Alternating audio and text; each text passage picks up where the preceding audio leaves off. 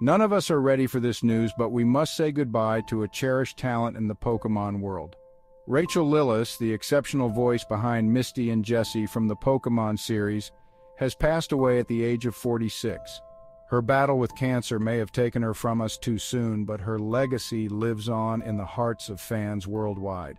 Lillis's vibrant performances as Misty, the determined water Pokemon trainer, and Jessie, the comically wicked Team Rocket member, have enchanted audiences since the late 1990s.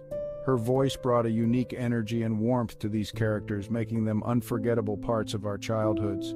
Beyond Pokemon, Rachael Lillis's talent graced many other anime and video games, showcasing her incredible versatility as a voice actress.